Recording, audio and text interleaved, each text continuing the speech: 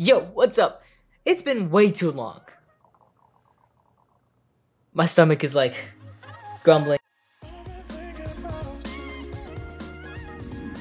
Yo, it's been way too long since I made my last video. It's been literally two to three months. Why, you ask? Dude, no one even watches your video. Shut up. You're in every one of these videos and you're still annoying as hell. Anyways, I'm working on bigger productions. Have y'all seen the movie It? No, I haven't seen the movie. Mm, I will murder you. well, I'm making a short film based off of the movie It. It's gonna be insane. It's gonna be funny. It's gonna be amazing. I am filming the skit on November 22nd. That is Thanksgiving weekend, and it will be posted December 1st. Look out for that one. Now that the announcement's over, let's get to the video. Now, when you start off, you want to find a location that looks nice. If you have a location that looks like a dumpster, it actually might work. But you don't want a location that has a flat background. If I did it right here, it will look completely photoshopped or it just won't look nice at all. For starters, you want a location that has a nice horizon. Take a look at this picture that I have. You can clearly see the background defines the photo and it adds depth. It doesn't look like he was just placed into the photo. Now to start, there are a few things that you're going to need. One, a camera. You can use your phone, you can use a DSLR, it really doesn't matter. The second item is a stool, preferably a small stool, that way it makes it light and easier to move around. It is also recommended for your subject to wear a jacket.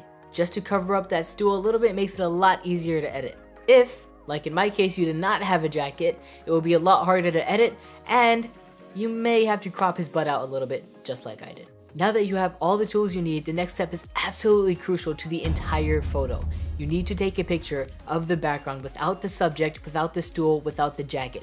Just a clean picture of the background. This will help take out the stool in Photoshop making it look like it was never there. Now that you have a clean slate, all you need to do is have your subject move in the frame and take a photo of him on the stool in whatever pose you want. Simple enough? Yeah, we're not done yet. Now we need to move into Photoshop.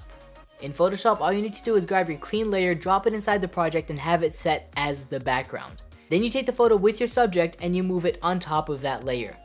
You go ahead and turn the top layer into a layer mask and you go ahead and get your brush tool out. Now you need to make sure that your brush tool colors are set to default by pressing D or hitting that reset button.